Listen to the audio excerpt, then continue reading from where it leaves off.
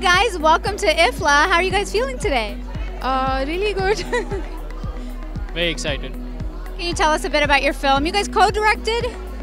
yes.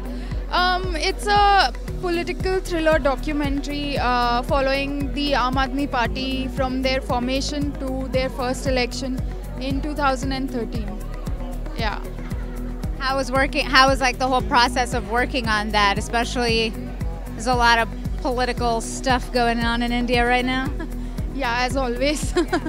um, yeah, it was really intense, but um, we had a fantastic experience just, you know, immersing ourselves in the electoral landscape and, uh, you know, rallies, the heat, the winters, everything. And um, we, we, we are really happy with the film we have at the end of it all. So. And uh, how's your experience at IFFLA been? It's been fantastic, incredible. Why are festivals like this important in general? This is its 15th year right now, um, and why is it important?